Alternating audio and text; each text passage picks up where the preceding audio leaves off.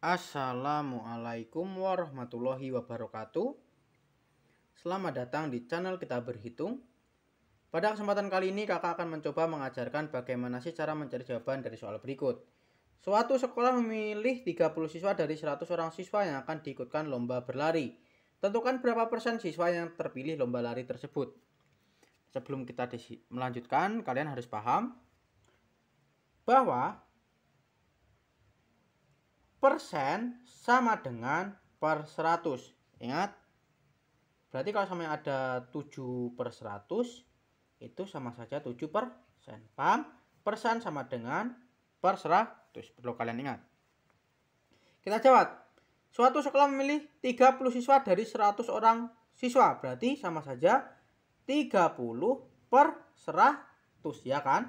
30 dari 100 siswa. 30 per 100 persen sama dengan per 100 berarti 30 persen. Mudah banget kan? Apabila kalian sudah paham, kalian luar biasa. Apabila belum paham, silahkan ulangi lagi videonya. Apabila ada yang ingin ditanyakan, silahkan tulis di kolom komentar. Sampai jumpa di video berikutnya. Wassalamualaikum warahmatullahi wabarakatuh.